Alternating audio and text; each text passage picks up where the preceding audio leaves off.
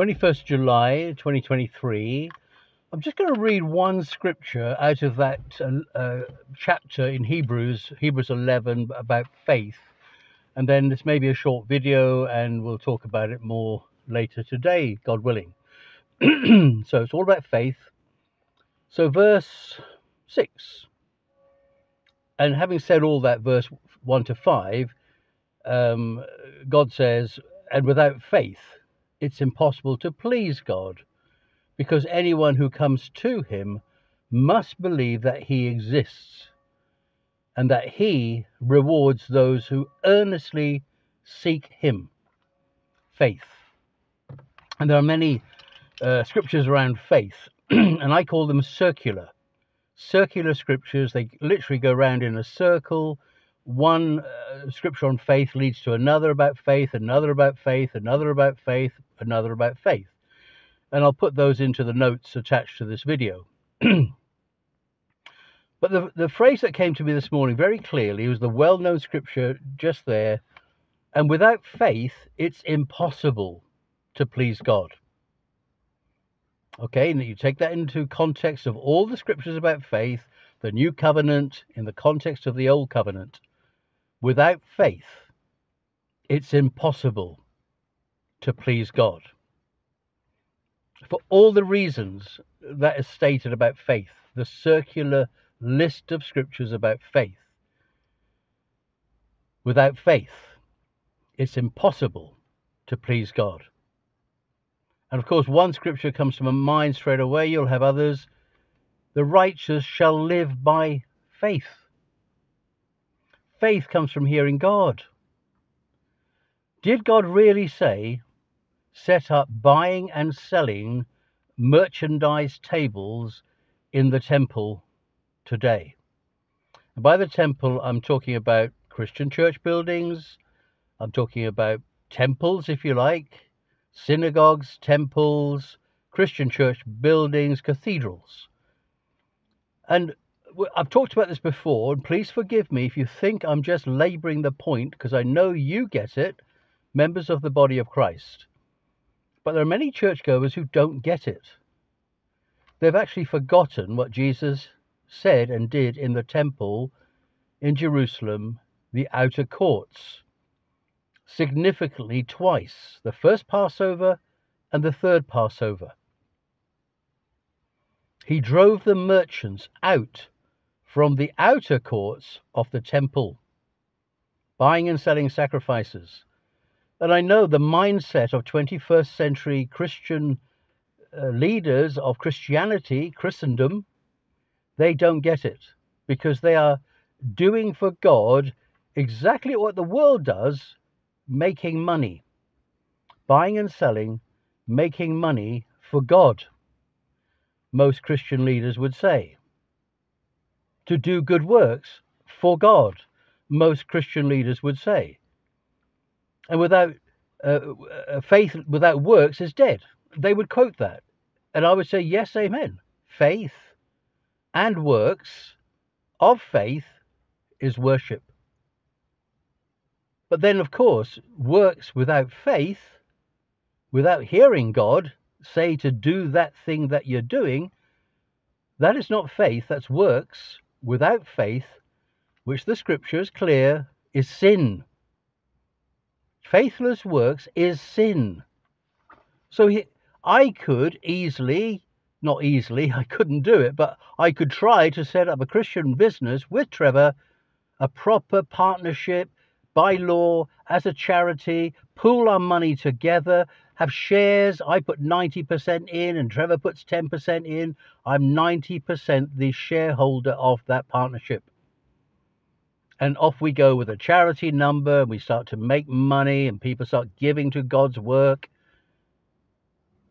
It never happened for 30 years, nearly 28 years. It never happened, even though somebody actually said, start your own church, start your own charity, two together, just the two of you, and then grow your church. No. No, God never confirmed it. It was somebody's idea, which was given like a prophecy, but it wasn't God. It's a good idea, but it wasn't God's idea. God has set me free from the business world, the marketing, the sales, the public relations, PR, doing things to make God look good. Public relations on behalf of God, like God is my client. And I am the one who organizes my client, God, to look good in the newspapers. Even saying it sounds so crass, as if God needed me as his publicist, publicist, his PR consultant. Me telling God that this will make you look good. And God has given us free will, even to sin as his disciples. As his disciples. Here was Peter, that one of the top, top, top disciples of his day, having two faces, one for the Jews, one for the Gentiles. And he thought that was right. I'll, to the Jews, I'll be a Jew. To the Gentiles, I'll be a Gentile. But God spoke to Paul the new apostle, the new kid on the block, who faced Peter, faced him, and told him to his face, No, Peter, you're double minded. You can't be a Jew to the Jews, a Gentile to the Gentile. That's not right, Peter. And, and who said Paul was right? Paul was a murderer, a persecutor of the Christians, under that spirit of Pharisee, the persecutor, the satanic agent provocateur, I call them, a phrase I coined many years ago, because the Pharisees are sons of the devil, therefore they are satanic, and they're agents who provoke true believers to catch them out. The spirit of Pharisee. And we can all be Pharisee. I can be a Pharisee.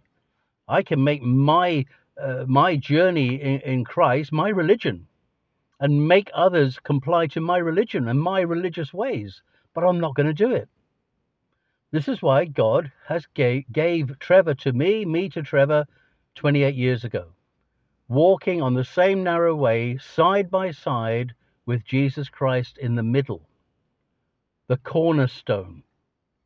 We're not married, in, in, the, in the biblical sense. We're not married, but we are in a partnership, equally yoked, and the yoke is from Christ. The yoke is light. The yoke that God has between us, Trevor and I, equally yoked in Christ, 50 50. It doesn't matter who pays because the money is God's, God's money. So without faith, it's impossible to please God. And many people today would say, without money, we can't please God. Without the money to do things, we can't please you, Lord. And that's not faith. That's a worldly mentality. Without money, I can't do something for you, Jesus. Without money, I can't buy gospel tracts or little gospels to give out without money. Without money, I can't go to the Christian bookshop and get books to give out because they want money. Without money, I can't go to the church cafes and, and to buy or to get teas and coffees to take out of the building onto the streets and to give away free teas and coffees. I can't do it without money. The church cafes, restaurants have all become businesses and they think they're right. They actually use that phrase the ends justify the means. But when you realize, and uh, please forgive me, I'm not being super spiritual.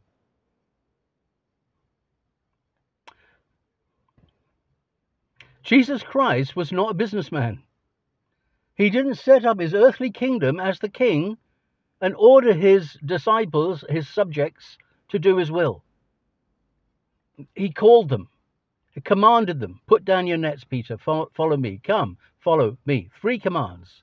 And Peter obeyed. Why? Gave up his livelihood.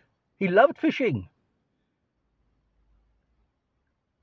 There was something about this man Jesus that they all saw. There was something about this man Jesus that was different. And he wasn't just a carpenter's son, there was something different about him. And Peter put down his nets and he came and followed Jesus. And other fishermen do, uh, too came and followed Jesus. And Jesus began a three year, I hesitate to call it a course or program, a three year experience for them where Jesus was the Bible school teacher the principal, the head master of the Bible school, the rabbi, the chief rabbi of Israel, the chief prophet, the chief prophetic teacher of Israel, the teacher who, who taught teachers when he was 12, asking them questions, searching them, but giving them answers as well.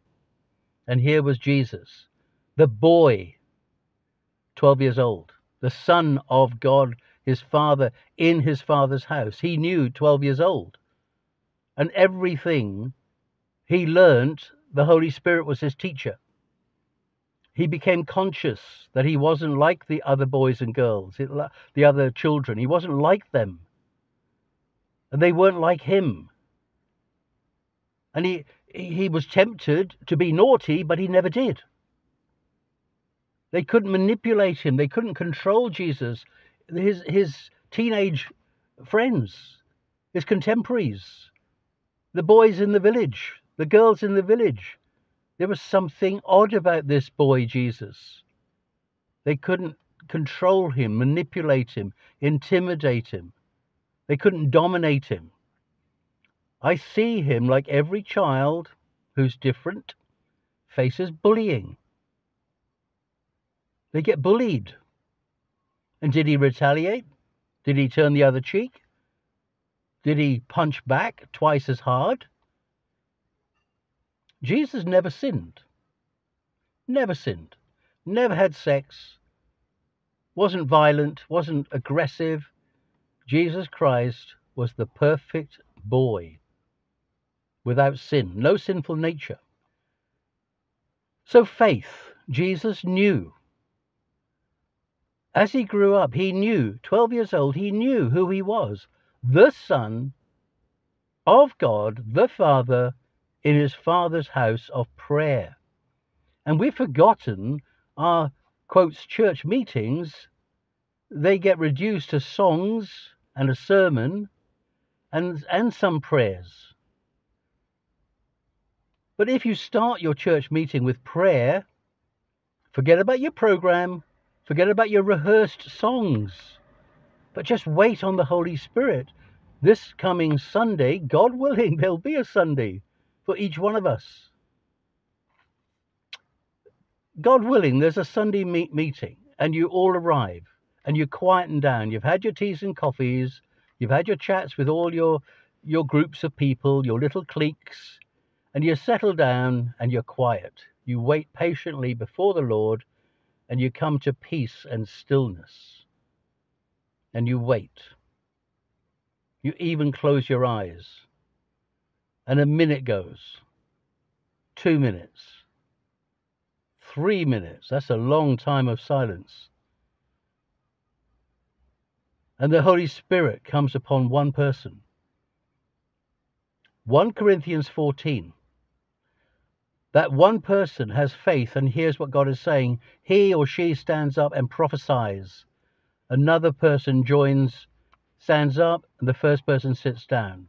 So we'll end it there, end of part one. We'll pick this up later, 1 Corinthians 14. God bless you, brethren of the one God. Pray for us as we are praying for you. God bless.